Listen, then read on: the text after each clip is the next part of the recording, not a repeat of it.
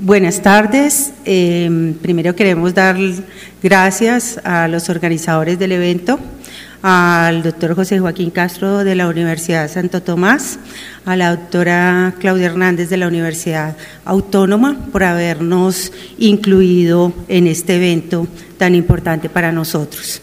Mi nombre es Elizabeth Rodríguez, eh, soy de la Asociación Colombiana de Esclerosis Lateral Amiotrófica y Lucy Barrera es la vicepresidenta de la asociación. Eh, el tema que nos trae hoy, obviamente, es ELA, es una enfermedad que es la esclerosis lateral amiotrófica. Ah, ¿Qué es la esclerosis lateral amiotrófica? Es una enfermedad progresiva en la cual los músculos del paciente se debilitan y se atrofian gradualmente debido a la pérdida de las neuronas motoras, las cuales hacen funcionar todos los músculos. Se considera una enfermedad catastrófica porque el paciente queda severamente discapacitado con la dependencia absoluta de 100% para eh, desarrollar sus actividades básicas, pero con la salvedad que conserva todas sus capacidades mentales y todos sus órganos y sus sentidos funcionan. De pronto para eh, saber un poquito más del tema, sé que muchos han oído hablar eh, del físico, que es un paciente que lleva 53 años diagnosticado con ELA y que a pesar de su condición de tener una enfermedad como ELA, discapacitante, como les dije, en un 100% de dependencia absoluta, sigue trabajando en pro de conseguir eh, no solamente calidad de vida, sino también de conseguir y aportar al mundo con todos sus conocimientos. En Colombia, eh, el periodista Oscar Collazos eh, es un paciente que duró tres años con ELA y que también ha aportado mucho a todo lo que ha sido el desarrollo de la enfermedad acá en Colombia el abogado y político y profesor eh, Guillermo Asprilla es otro de las personas que padeció ELA. Eh, desafortunadamente, tanto el doctor Collazos como el doctor Asprilla ya fallecieron.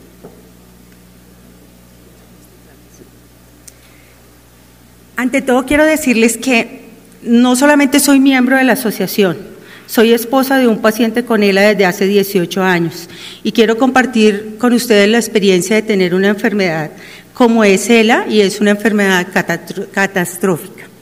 Eh, cuando a mi esposo le dijeron que tenía ELA, mi esposo tenía 45 años, eh, tenía un proyecto de vida con unas hijas pequeñas y con un mundo que visualizaba de éxitos y de logros. Eh, ¿Qué sentimos cuando nos dijeron que teníamos ELA? Y digo que teníamos ELA porque cuando a un paciente le diagnostican una enfermedad, la enfermedad no es solamente del paciente, es también su familia. Su familia empieza a formar parte importante en este diagnóstico y los factores positivos o negativos que se desarrollen frente a esta enfermedad no solamente dependen del paciente, de su familia, sino también de todos los factores externos y es lo que nos trae hoy acá. Eh, cuando a uno le diagnostican una enfermedad, y yo sé que muchos de los que están acá de pronto padecen no la misma enfermedad, pero de pronto han oído amigos o saben de lo que es tener una enfermedad como, como ELA. Eh, la primera reacción es de shock, uno no sabe qué hacer. Le dicen que tiene esclerosis lateral amiotrófica, una enfermedad que nadie conoce. Que el mismo médico cuando nos da el diagnóstico, como nos pasó a nosotros hace 18 años, no sabía qué era. El origen de la enfermedad, aún estando en siglo XXI, es desconocido. Por tanto, la cura todavía está a años luz.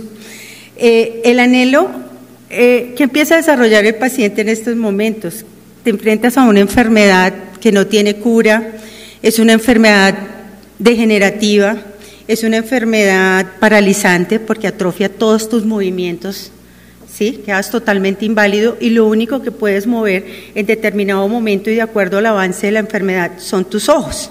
Entonces el paciente tiende a, haber disminución en la capacidad de comunicación porque el músculo se atrofia, dificultad para deglución y dificultad para respirar.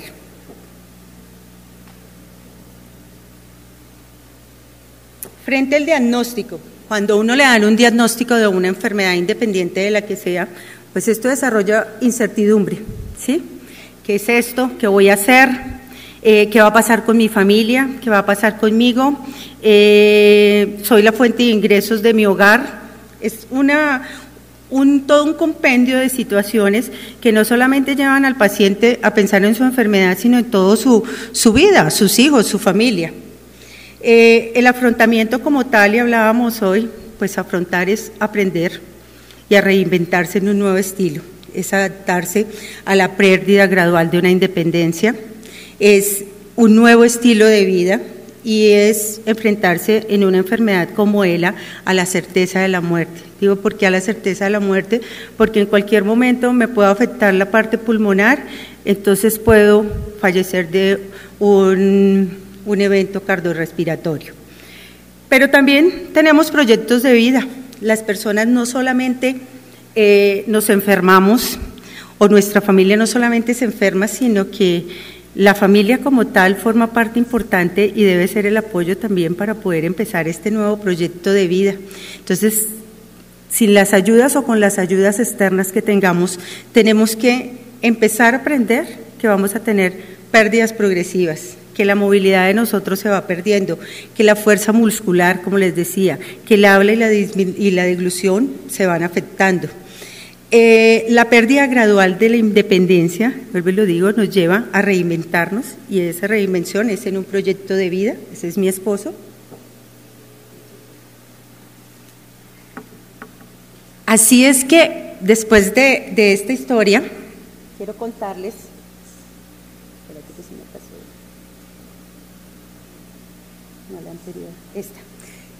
A partir de esto, eh, mi esposo está diagnosticado desde el año 1998.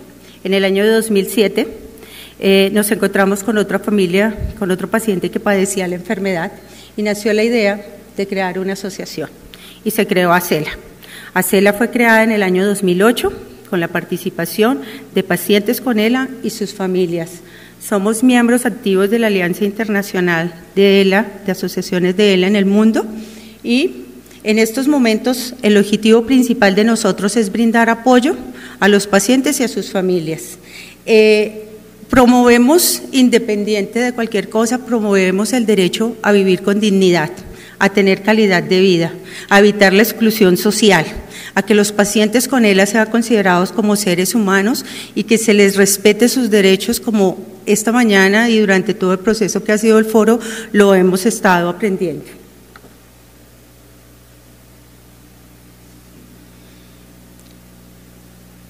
Vivir con él en Colombia. Vivir con él en Colombia em, crea un poquito de dificultad. Eh, todavía estamos en, un sistema donde la enfermedad realmente son mucho, muy poquitas las personas que los conocen, inclusive dentro de la parte médica. El diagnóstico es un poquito demorado para llegar y los médicos también, por la falta de conocimiento sobre el tema de ELA, les da como mucho, tienen mucho recelo a decirle a una persona, usted tiene ELA, usted tiene una enfermedad degenerativa que lo va a dejar mente totalmente inválido, que usted solamente va a poder mover los ojos y ese va a ser su única forma de comunicación. Tan solo imaginémonos que siente un paciente que está sentado en una silla de ruedas, porque toda su capacidad de movilidad está impedida, tanto de brazos eh, superiores como inferiores, donde no puede comer, no puede coger un plato, no puede tiene que ser ayudado y apoyado para poderse alimentar, ¿sí? Fuera de eso, se le afecta el músculo de acá y se afecta su voz. Entonces estoy sentado o estoy en una situación como están los pacientes y de repente me rasca la nariz, ¿sí? Si yo me puedo mover mis brazos, y no puedo hablar, yo me rasco la nariz, ¿cierto? Pero sí, independiente a que no me puedo rascar mi nariz, no puedo decirle a la persona que pasa que por favor me la rasque, ya entenderán cuál es la, la situación de impotencia que se siente. La capacidad mental de ellos está totalmente activa, pero la parte física no está. Por eso es que requerimos de apoyos, requerimos de asistencia, no solamente de asistencia en lo que tiene que ver la parte para cumplir las necesidades básicas de un paciente, del baño, la alimentación, las cosas, sino también asistencia para poderse comunicar con el mundo, asistencia para que tenga calidad de vida, asistencia para que pueda acceder a su lugar de trabajo, asistencia para que no tenga esa exclusión social de que si yo tengo una determinada carrera que trabajo con mi mente, lo pueda seguir desarrollando a través de un equipo, que ya existen los dispositivos de comunicación aptos para que cualquier persona con una, con una situación de discapacidad de comunicación o de movimiento de habla lo pueda utilizar.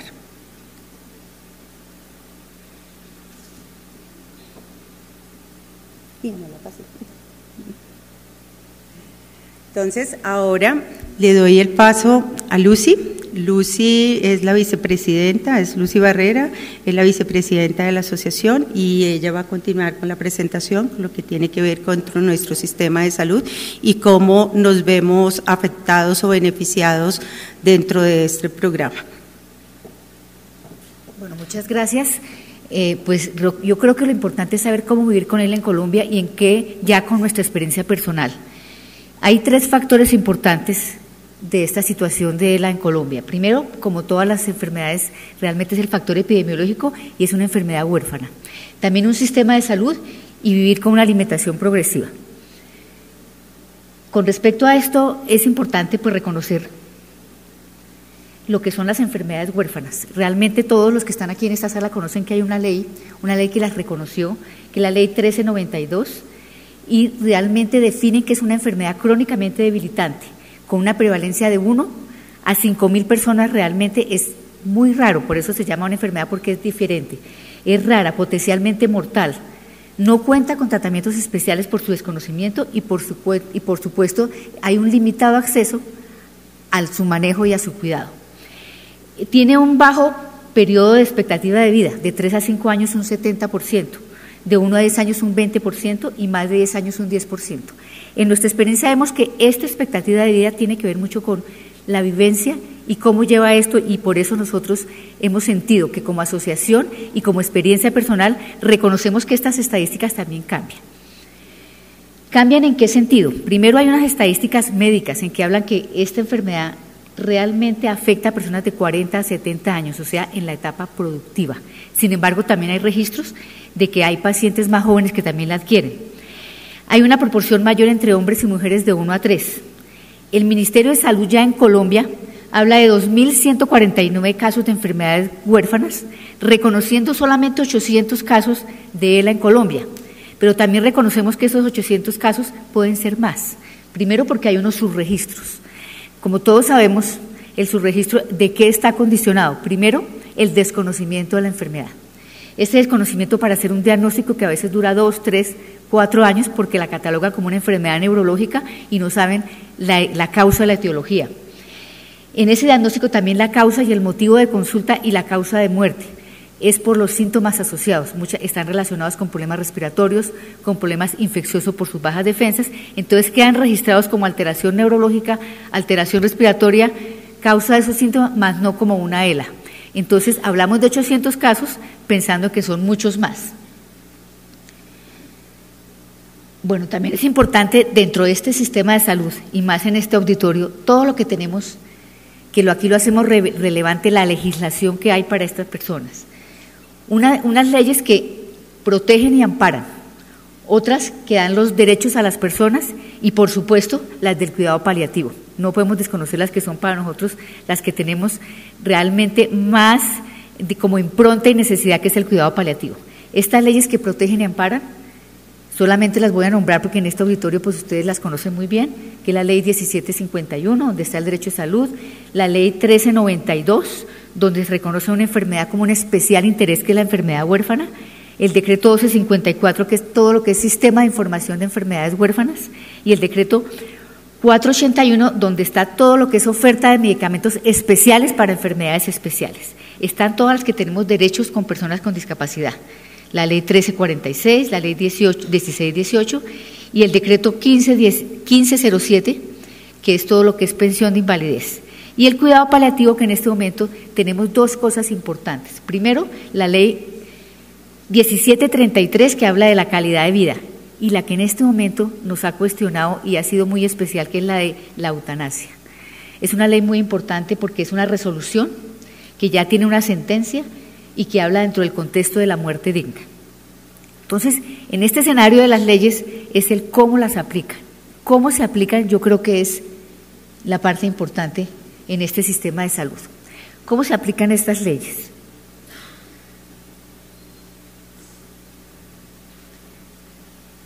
Ahí. Entonces, el sistema de salud tenemos que reconocer una cosa muy importante. Ya veo que hay una, una mano alzada, ahorita vamos a mirar qué pasa con estas leyes. Entonces, en este sistema de salud no se encuentra preparado realmente para asumir este cuidado con enfermedad crónica. ¿Por qué no se encuentra preparado? Primero, porque se trata igual la enfermedad crónica, a pesar de que hay una ley, cómo la CPS y cómo el sistema de salud las aplica, ahí donde viene la experiencia de estas familias. Sus profesionales no tienen una formación, por eso a veces se demora un diagnóstico. No hablo de meses, de años en hablar de un diagnóstico. La insatisfacción de las necesidades especiales, del deterioro prematuro, la institucionalización es muy importante porque se tiene en cuenta, por supuesto, toda la rehabilitación, pero para estos casos es todo lo que es el cuidado en casa. Y eso tiene un costo también especial, un costo grande, entonces ahí miramos cómo no está preparado. También reconocemos una cosa muy importante en la enfermedad crónica en nuestro medio colombiano, que es una prioridad más alta en la investigación en la salud de Colombia. Este sistema de salud hay que mirar en la experiencia este impacto que tienen las familias. Realmente las familias asumen la mayor parte del cuidado o asumimos la mayor parte del cuidado. Hay múltiples cambios de los roles dentro de una familia, hay mayores gastos, hay un gran interés realmente de toda la condición familiar. No es el paciente, la familia entera quien asume esta, esta hay una fricción, hay una desinformación, hay un aislamiento, una pérdida de la autonomía y una soledad. Entonces, ¿cómo es este abordaje que todos sabemos y lo reconocemos. Realmente es fraccionado, fraccionado es desarticulado. Cuando necesitamos un especialista, son cinco especialistas, esto demanda que se reúna un comité, hay múltiples fuentes, entonces todo esto desgasta toda esta situación de tratamiento en el paciente. Este abordaje médico también está centrado en la enfermedad, se olvida un poco de lo que es el contexto, de lo que vive la familia, de los roles, de los apoyos, que también esta mañana se hizo unas reflexiones muy valiosas, no es fácil realmente vivir esta experiencia, no lo hace más fácil. Hablemos solamente de una condición que es el transporte. Acceder a una ciudad como Bogotá o una ciudad diferente o una provincia, llegar a, a buscar un especialista, cómo montarse en un taxi, cómo acceder a un transmilenio, no es fácil acceder. Entonces tampoco se hace fácil la experiencia. Y por supuesto no fortalece la autonomía que tanto se reflexionó esta mañana. Entonces hay unas necesidades especiales que ya Elizabeth las nombró, que son equipos especiales, es una enfermedad muy ruidosa, hay un plano obligatorio que no satisface oportunamente estos medicamentos por las razones que ya dijimos, los equipos, eh, los programas de atención domiciliaria, que son los que más tenemos ese vacío grande, hay una sobrecarga de las necesidades y muy importantes necesidades económicas hay una sobrecarga a este cuidador familiar que muchas veces tiene que dejar de trabajar para cuidar a su familiar, hay un abandono del empleo. Entonces, estos apoyos realmente no los sentimos tan reales. Y es así como la asociación. Nuestra asociación Acera tiene el interés muy importante participar en comisiones que formulen y constituyan propuestas de proyectos de ley. Está la legislación, está muy bien descrita, pero cómo la asumimos y cómo la miramos desde la experiencia de nuestra vivencia. Cómo es estas reglamentaciones llegan hasta donde están nuestras necesidades especiales. Entonces, con beneficios a las personas realmente por nuestra calidad de vida. Con cinco aspectos importantes que por nuestra experiencia, uno primero la accesibilidad, un cuidado humanizado con costos razonables, una continuidad, siempre queremos esta continuidad del cuidado en el hogar, un soporte social conformado por un apoyo útil y con un apoyo a este cuidado familiar, una capacidad de asistencia y una seguridad, que nos sintamos seguros, no nos sintamos solos. Entonces, con estas improntas realmente de la asociación, como les decía, más en nuestras experiencias, queremos transmitir estas experiencias de quienes vivimos la enfermedad.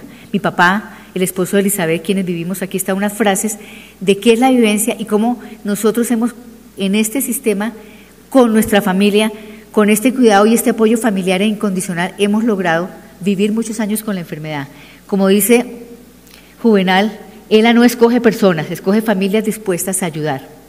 Orlando Ruiz, nuestro fundador, siempre pensamos en lo que todavía podemos hacer y no en lo que ya no podemos hacer. Alfredo Santos, que es el papá de otra de nuestras voluntarias, dice, a Dios no le reprocho nada, por lo contrario, cada mañana que despierto le doy gracias por cada instante que me permite vivir.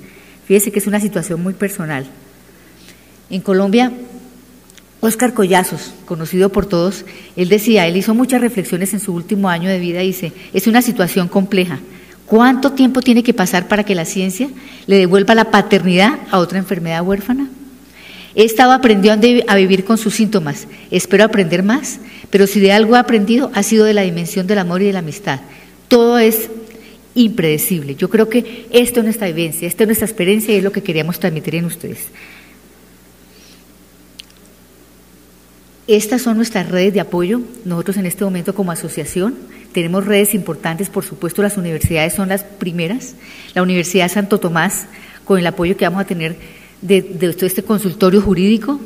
La Universidad Nacional también, tenemos toda la parte, digamos, conceptual y la parte de apoyo a los cuidadores la Asociación Internacional, la Asociación de Argentina, el Área Andina, la Universidad Área Andina, Origami, la Asociación Colombiana de Neurología, han sido nuestros aliados en estos retos importantes como asociación.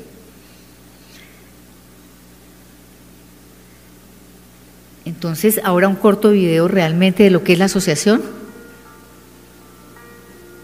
para terminar esta oportunidad que nos dieron.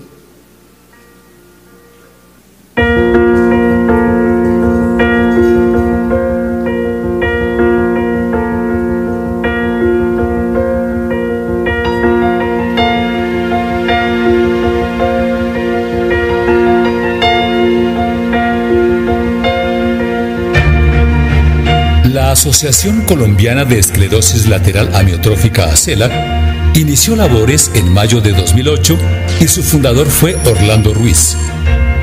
ACELA es una organización sin ánimo de lucro cuyo objetivo es apoyar a pacientes, familiares y cuidadores a enfrentar la enfermedad con la mejor calidad de vida posible, promoviendo un derecho a vivir dignamente.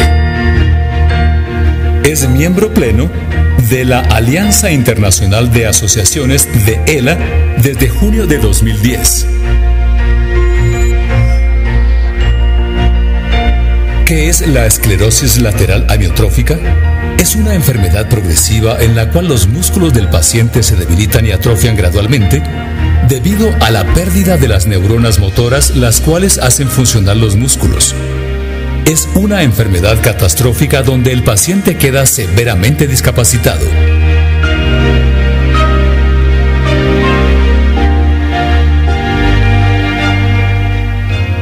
Nuestra visión.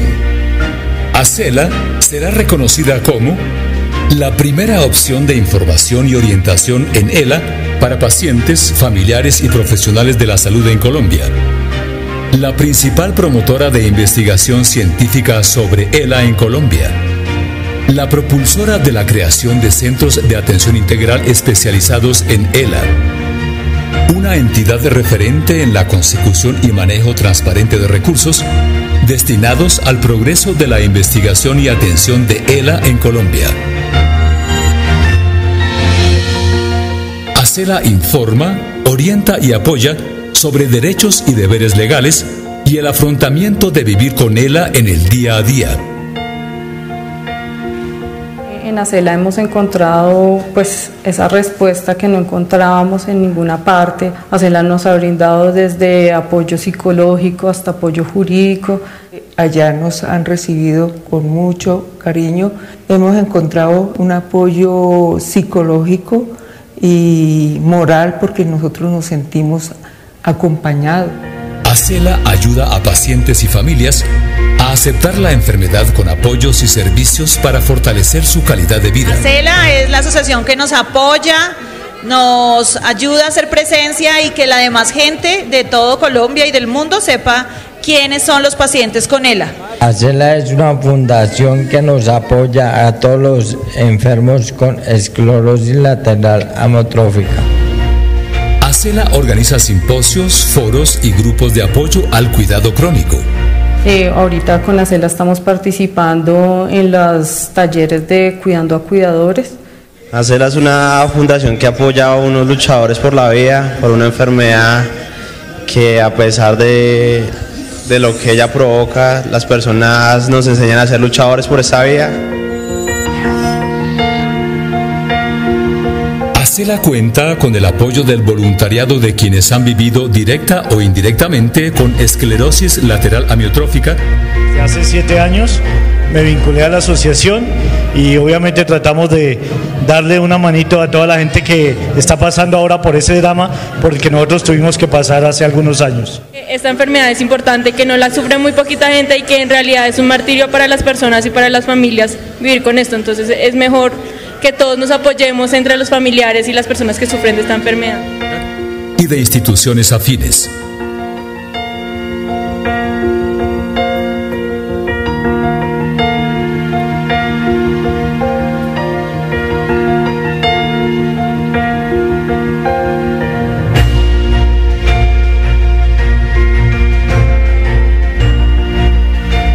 Asociación Colombiana de Esclerosis Lateral Amiotrófica ACELA. Una visión de esperanza. En ACELA contamos con voluntarios conocedores de la experiencia de vivir con ELA. En ACELA prestamos apoyo y servicios a los pacientes y sus familias quienes padecen la enfermedad de esclerosis lateral amiotrófica. Unidos somos más. ACELA somos todos. www.acelaweb.org. Usted puede ser parte de la esperanza. Bueno, muchas gracias.